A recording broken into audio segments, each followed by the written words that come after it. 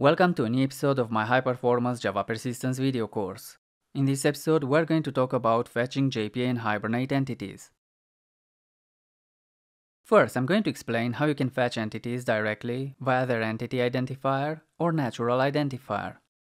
Afterward, we're going to see how we can fetch entities via JPQL, SQL, and Criteria API queries. In the end, I'm going to explain how the JPA entity meta model works and why I should use it when building dynamic queries with the JPA Criteria API. To fetch the entity object, you can use the find method of the Entity Manager object reference. The find method returns a plain old Java object entity with all the basic attributes loaded eagerly. On the other hand, the getReference method returns an entity proxy object, which has only the identifier value set, while the remaining attributes are fetched lazily, when one of the non-identifier properties is accessed for the very first time. Testing time.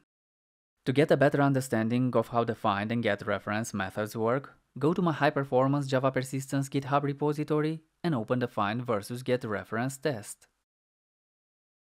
This test class uses two entities, whose associated database tables form a one-to-many relationship. The post entity is mapped to the parent post table. And the post comment entity is mapped to the post comment child table. Notice that the post comment entity has a post property that maps the underlying post ID foreign key column. In the after init method, a single post entity is persisted.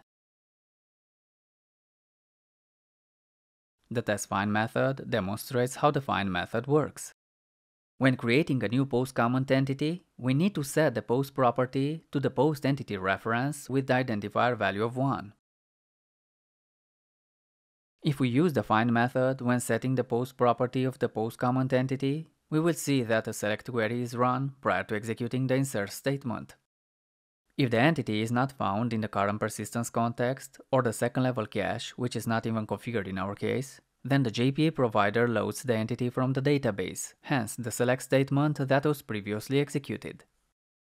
Now, if we load a post entity using the find method, we can see that the basic attributes of the post entity are accessible even after the persistence context is closed. This is because the post entity basic attributes were initialized from the JDBC result set of the aforementioned select query. The test getReference test case is going to demonstrate how the getReference method works in practice. This time, instead of calling find, we're going to call getReference when setting the post property. So when running the test case in debug mode, we can see that the post comment entity is persisted without triggering a select query to initialize the post property.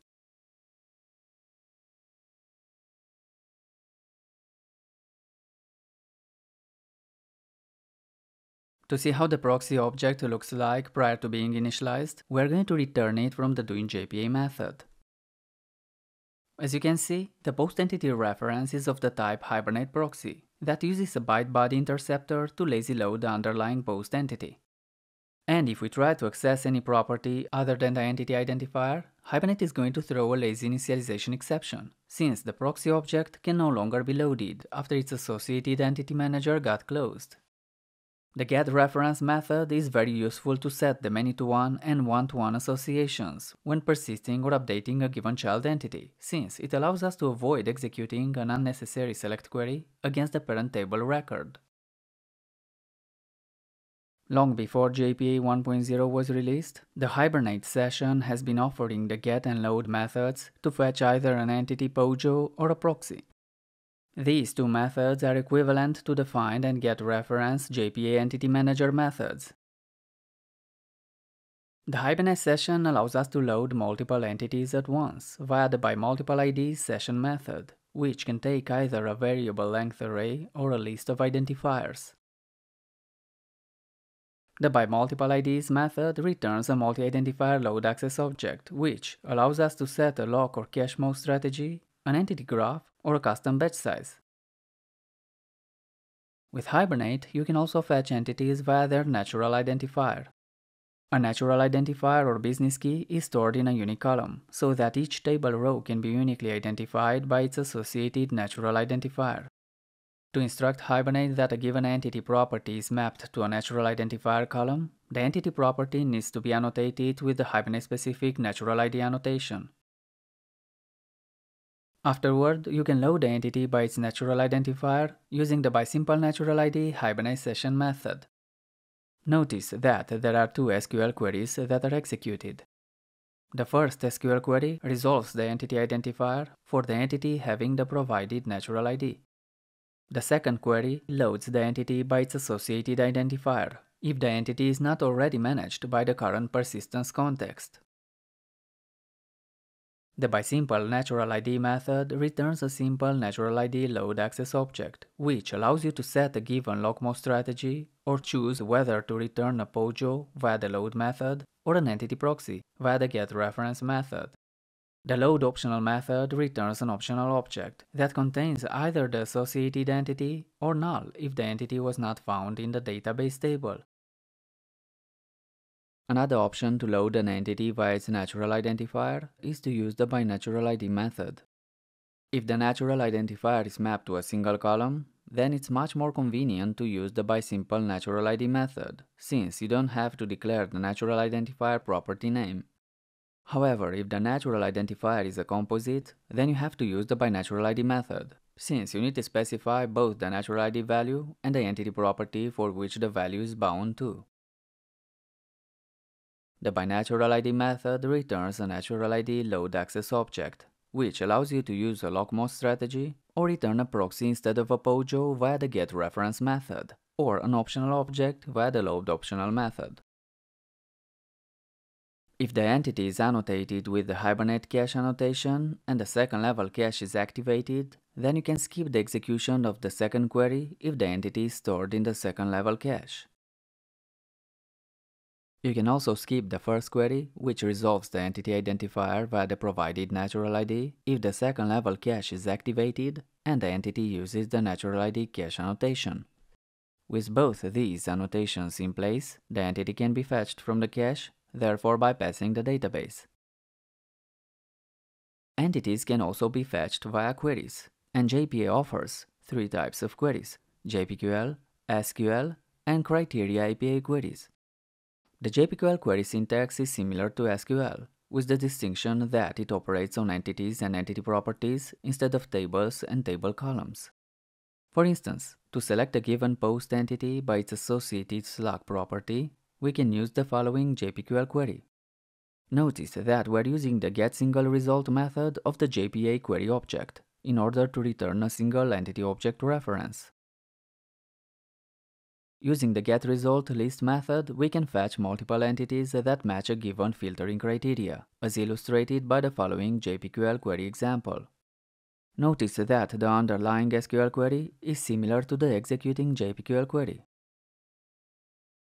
Entities can also be fetched via native SQL queries. To execute an SQL query, we need to use the createNativeQuery method of the JPA Entity Manager object, which can return either a single object or a list of objects. If you want to build an entity query dynamically, then you can use the JPA Criteria Builder. The Criteria query allows you to define the structure of the entity query programmatically.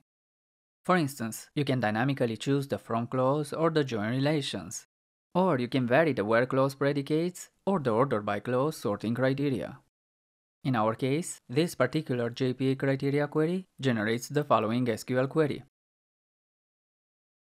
To avoid using hard-coded property names when referencing entity properties in the join, where, or order by criteria API clauses, JPA defines an entity metamodel API which can be auto-generated from the existing entity classes using a Java compiler annotation processor the Hibernate project provides the Hibernate JPA model gen dependency for generating the entity metamodel. Considering we have the following post entity class, the associated entity metamodel will look like this. The metamodel class name ends with an underscore suffix, and for each associated entity property, it contains a static field with the same name of the singular attribute or list attribute type. The entity meta model includes all entity attribute names, which can be very useful when building a DTO projection using the multi-select criteria query option. With the entity meta model in place, we can build a criteria query as follows. Notice that the fetch method, which is equivalent to a join fetch JPQL clause, uses the comments field of the post metamodel class to reference the comments attribute of the associated post entity.